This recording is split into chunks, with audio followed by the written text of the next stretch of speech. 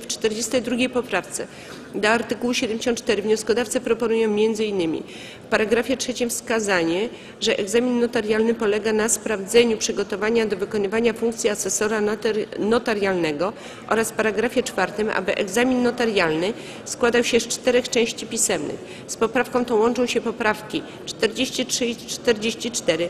Nad tymi poprawkami głosować będziemy łącznie. Komisja wnosi o odrzucenie tych poprawek.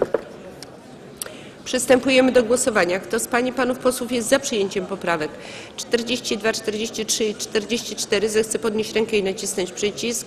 Dziękuję. Kto jest przeciw? Dziękuję. Kto się wstrzymał? Dziękuję.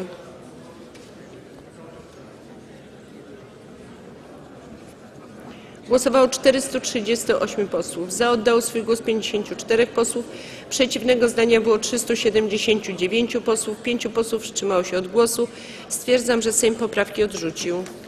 Poprawkę 45 już rozpatrzyliśmy.